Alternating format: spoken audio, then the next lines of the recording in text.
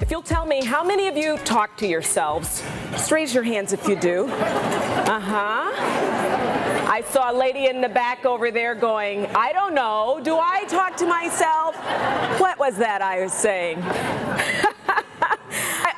Want to ask because I talk to myself. I, I say some pretty crazy things to myself, but I realize over my life I've said crazy things to myself as well as to other people. I've said some weird things like the way I used to introduce myself when I was really young.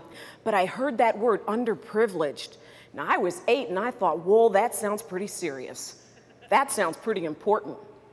Underprivileged. I think I'm gonna go around and tell people I'm Charlotte and I'm underprivileged. and we'd be somewhere else at church. Hi, I'm Charlotte, and did you know I'm underprivileged? And they kind of look at me and go, ooh, sick. And I go, hey, I'm Charlotte, and I'm underprivileged. And, and, and I did that. Then I started to get an attitude.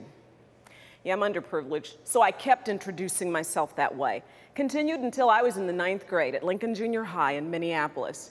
And I encountered Miss Gracie Hunter. Miss Gracie Hunter was the ninth grade English teacher at Lincoln Junior High. And back then, Lincoln, uh, the junior highs ran through ninth grade, and then you did 10th, 11th, and 12th at the senior high school. And so you couldn't get out of Lincoln until you had been through Miss Hunter's English class.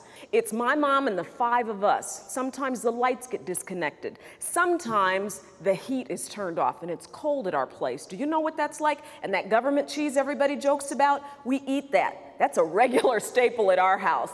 And I went on and on and on. And she said, I really don't care. She said, My father left us as well. A lot of people eat the cheese. She said, Charlotte, you've been using it as a crutch. Yeah, she said, A lot of people eat that cheese. She said, I have some, it's good, don't worry about it. And you're putting this out there so people can feel sorry for you, so people can say, ah, I don't expect anything of her. I don't expect a thing. Look, look how pitiful she is. And she said, Today, this is the last day that you say, I'm Charlotte McGregor and I'm underprivileged. Do you understand me? But here's, here's what I finally learned. And Don had given me the answer. He said, What do you bring to the table? It's not your stuff. He said, It's you. You bring you to the table. I was bringing I've got spreadsheets, I've got PowerPoint, I've got some incentive programs, we'll give you more money, your stuff is crap, I've got these lines, I've got all these kinds of things. But the key was I was bringing me to the table. I had to bring me to the table. And then he had also said, It's the choices you make, Charlotte. You chose wrong that particular morning. And what I finally understood was in asking this question of myself, Charlotte, who are you? It came down to this I am the sum total of choices that I've made throughout my life.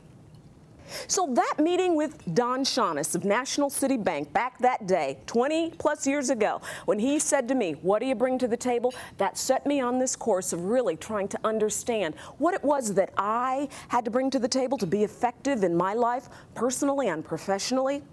I really went on a, a, a journey to understand what effective people bring to the table. And that's something else Don taught me. There are effective people and there are ineffective. Ineffective people say, I don't have any choices. I don't have choices. They ask questions like this Well, when are we going to get some more money to do what we need to do? How come they haven't given us all that we need to do what I need to do? Etc. It's always outward bound. Effective people say things like this can I do to help you?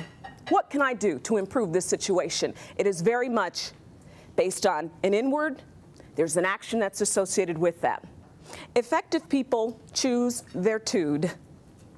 And I'll tell you more about that. Choose their tude. Secondly, effective people are pulled by their passion. Effective people are, choose, are pulled by their passion. Thirdly, effective people are remarkable. They choose to be remarkable. And then lastly, effective people choose to be servant leaders. So it was a big deal for me to go to college. So I left to go to college, and my brother next to me, his name is James, he decided uh, the very next year he was going to college as well.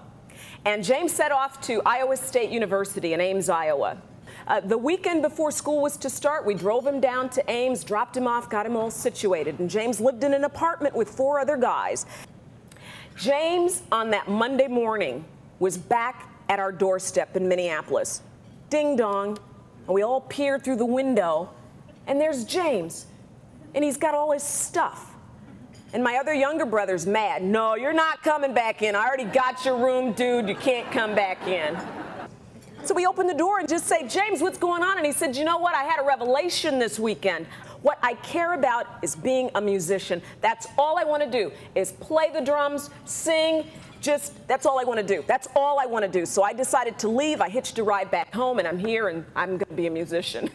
so we all go, okay, great, we're leaving. So you get it figured out. We'll see you later. James then set on this course of becoming a musician. Now, if you've been to Minneapolis or heard of Minneapolis, you know about this little guy about this tall who wears uh, high heels. His name is Prince. And James decided, I'm going to go out to Prince's studio and I'm just going to hang out there. And that's my plan to become a musician and to become well known. And we all thought, bad plan, James. That's not going to work. But that's what James did every day. So that went on for some time. And James uh, said, You know what, Charlotte? I just want to be here because one day Prince might notice me. And then one day, Prince had a run in with his drummer, and they were about to go on the road to Europe. And so he said, James, you tech and you drum, right? Yeah, I do. Well, pack your stuff. We're going on the road. Well, then I get a call one night. It's about 3 in the morning. You know, you don't like to get those calls real early in the morning. You think something's wrong. But it's James, and it's really noisy in the background. And I say, What's going on? And what's happening? He said, Oh, I just wanted to call. I'm here in Wembley Stadium with Paul McCartney and like uh, Elton John. We're just kicking it. We're just hanging out. And I'm like, and I'm thinking, My God, my brother, he's a musician. He's made a living. He's put a daughter through college, built homes, done all kinds of things. And I'll, i just say this to, to put it into perspective. Remember, we grew up in the projects, five kids. He dropped out of college.